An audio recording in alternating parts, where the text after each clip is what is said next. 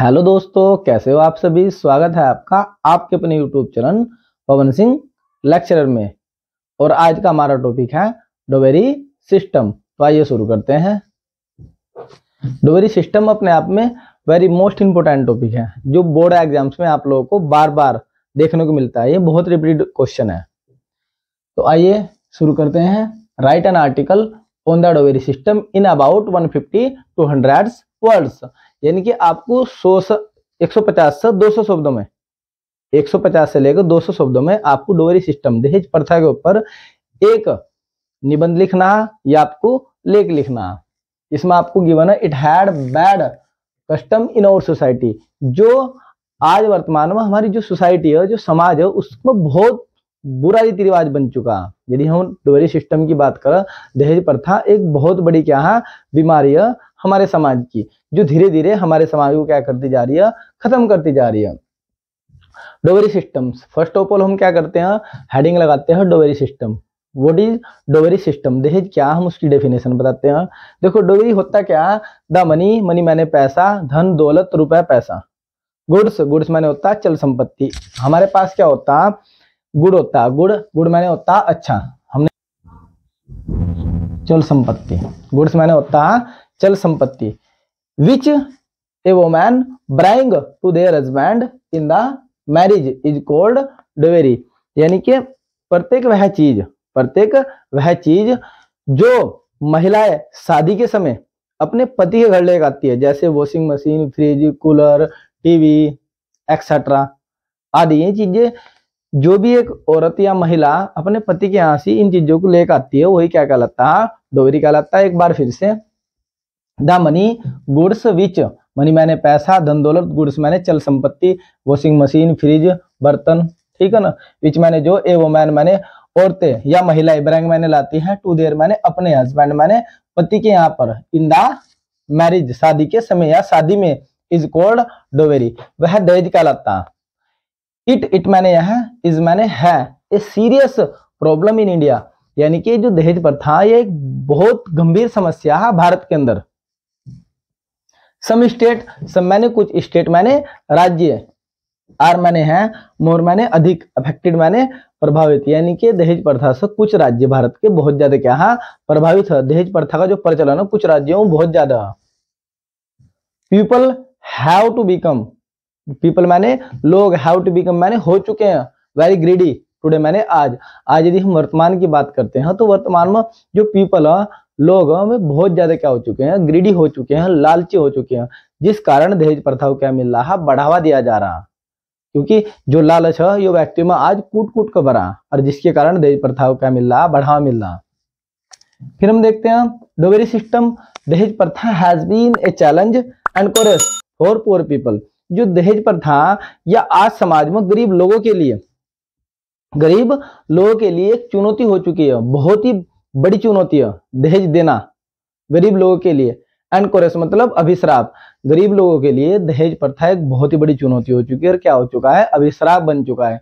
क्योंकि गरीब लोगों को आज शादी करना, अपनी जो बेटियाँ होती हैं, उनकी शादी करना उनके लिए एक बहुत बड़ी क्या चुनौती है। क्योंकि अमीर लोगों को दहेज देना बहुत आसान होता है। जो अमीर होते हैं अपनी बेटियों को आसानी से इजिली क्या देते हैं, दहेज दे देते हैं। लेकिन आज गरीब लोग अपनी लड़की की शादी करते समय चार बार सोचता है। कि शादी में क्या करना है, कहाँ से पैसे लेकर आने हैं, कैसे सामने वालों का, जो लड़के वाले हैं, उनका मुँह कैसे बंद करना है, ठीक है ना? और उनके लिए बहुत ज़्यादा क्या है, महत्वपूर्ण क्या है, चुनौती है। डोवेरी इज़ इज़ मैंने है good, custom in modern era. यानी कि हम डोवेरी की बात करो, दहेज की बात करते हैं तो आज का जो मॉडर्न एरा, आधुनिक युग, ये एक बहुत अच्छा कस्टम। आजकल के जो लोग ना, जो आधुनिक लोग डोवेरी सिस्टम ना एक अच्छा कस्टम बना लिया एक अच्छा रीति रिवाज बना लिया। लोगों का फ़ैशन हो चुका है दहेज देना।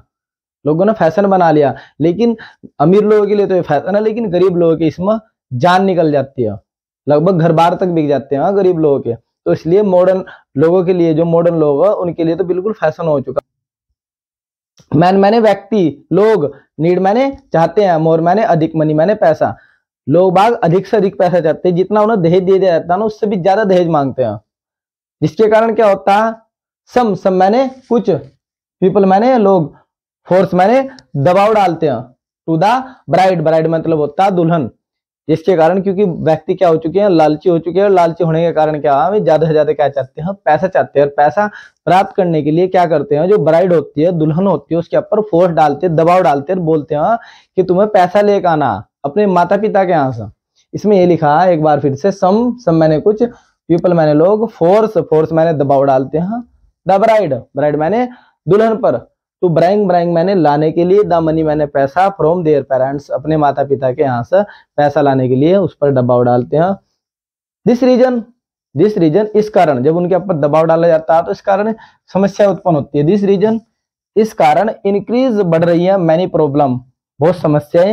एज एज मैंने एज एज मैंने जैसे सम वोमैन कुछ औरतें सुसाइड, जब उनके ऊपर ज़बरदस्ती से दबाव डाला जाता है, पति के यहाँ से बार बार फोर्स किया जाता है कि अपने यहाँ से पैसे लेकर आओ तो उसके कारण क्या होता है, कुछ जो महिलाएँ होती हैं, वो सुसाइड अटेम्प्ट कर लेती हैं। वो सोचती है, उन्हें पता अपने घर की कंडीशन की मेरे माता पिता बहुत ज़्यादा क्या है, गरीब हो, और ये जो लड़के वाले बार बार क्या करते हैं, मुझसे पैसे बनवाते हैं, मेरे माता पिता कहाँ से मुझे इतना पैसा देंगे?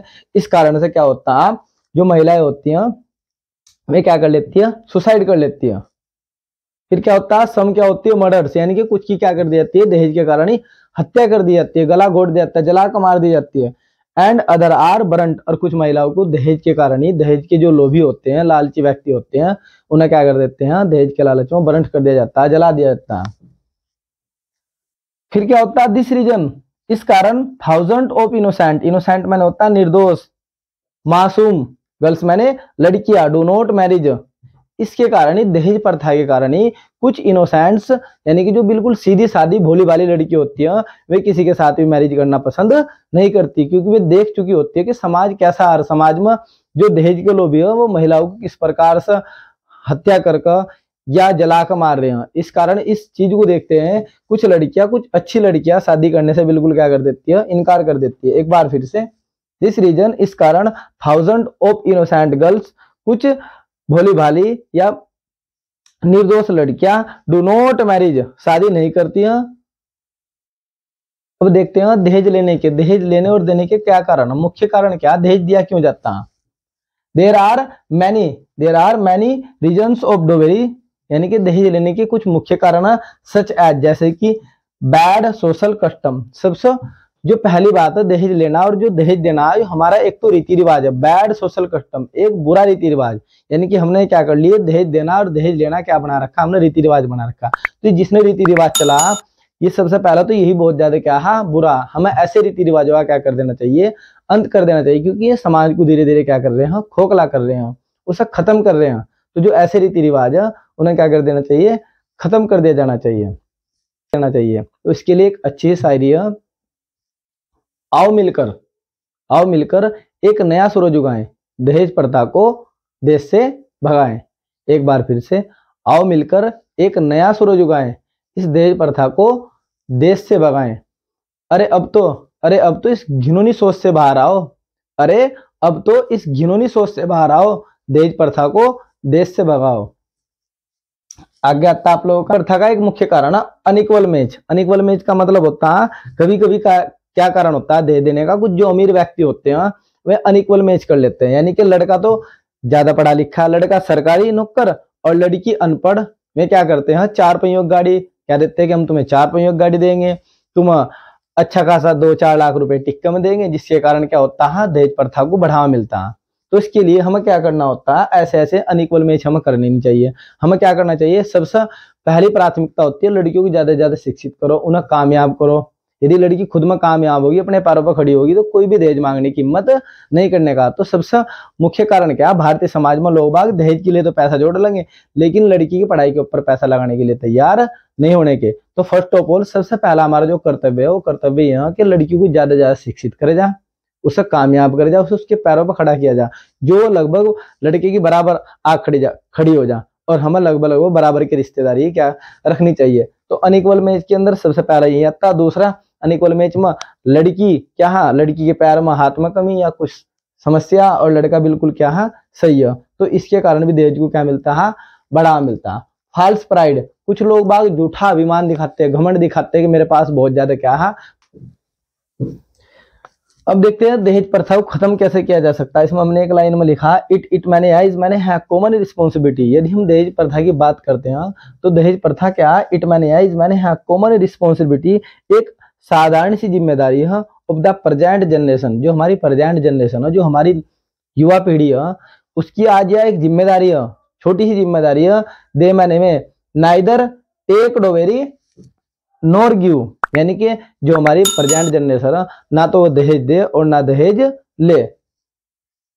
दस इस प्रकार भी मैंने हम होप मैंने ऐसा कर सकते हैं that a better society and better future यदि हम किसी से दहेज नहीं लेने के और किसी को दहेज नहीं देने के तो इस प्रकार एक हम अच्छे समाज की कल्पना कर सकते हैं एक अच्छे भविष्य का भी क्या कर सकते हैं, निर्माण कर सकते हैं।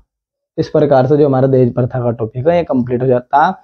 यदि आपको हमारा यह वीडियो पसंद आया हो तो आप हमारे YouTube channel Pawan Singh lecturer को ज़रूर सब्सक्राइब करें लाइक करें कमेंट करें और शेयर करें।